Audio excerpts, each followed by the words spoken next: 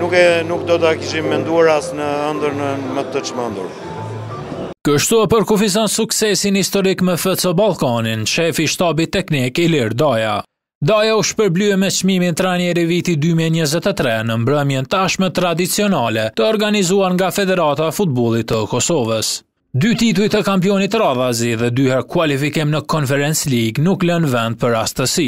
Ka qenë një vit goxha i suksesshëm dhe do thoja edhe më i suksesshëm sepse për, për të dalë në herën e parë kampion është e vështirë sigurisht, për të dalë për herë të parë në historinë e futbollit të Kosovës në grupet e Conference League-s Përsëri është e vështirë, por akoma dhe më e vështirë është fakti që ta përsërisësh qoftë fitimin e kampionatit, po ashtu edhe kalimin në grupet e Konferencë Ligës.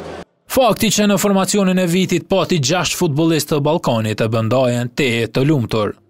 Ka qenë një vit plot suksese, sepse po ta shikonim edhe në fituesit e njëmbëdhjetëshes më të mirë, pothuajse ishte një formacion gati i tërë, apo pjesa më e madhe ishte nga Ballkani, që do të thotë përveç që është bërë një punë në fitimin e këtyre trofeve të dy herë të titullit kampion dy herë në grupet e Konferencë Ligës, një herë, Superkupën e Kosovës. Neve kemi edhe një grup lojtarësh që tani po na përfaqësojnë shumë mirë futbollin e kampionatit të Kosovës dhe po kërkohen edhe nga ekipet e tjera që do të thotë është një tjetër punë shumë e mirë në 2023-shin. Ndërsa transferimet e disa lojtarëve në klube evropiane i shton një ndjenjë krenarie. Përveç këtyre rezultateve kemi bërë të mundur transferimet që nga Krasniqi meqë ishte i pari dhe deri te Ramani që deri sot është transferimi më i madh nga futbolli i Kosovës.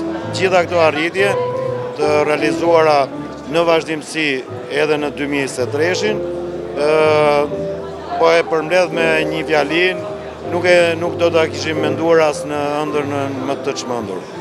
Në Suharekë shkoi edhe çmimi kryesor i mbrëmjes pasi Lumbardh Dellova u shpall futbollisti më i mirë i vitit dy mijë e njëzet e tre.